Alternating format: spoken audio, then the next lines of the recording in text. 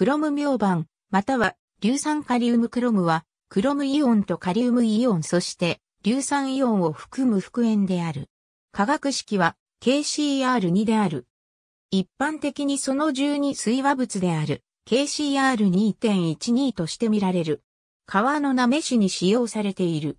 クロム明板クロム明板はクロム酸ジオ、またはフェロクロム合金から製造される。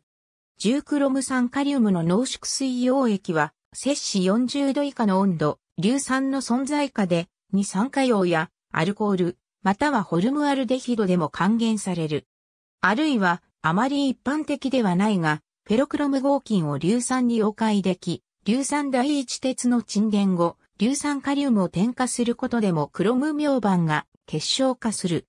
クロム明板は角が平らな八面体の結晶であり、水に非常によく溶ける。水溶液は青色リトマス紙を赤くし、修練作用がある。水溶液は濃い紫で、摂氏50度以上に加熱すると緑色になる。水和物に加えて、6水和物 KCR2.6H2O、2水和物 KCR2.2H2O、および一水和え物 KCR2H2O が知られている。クロム明板は川のなめしに使用される。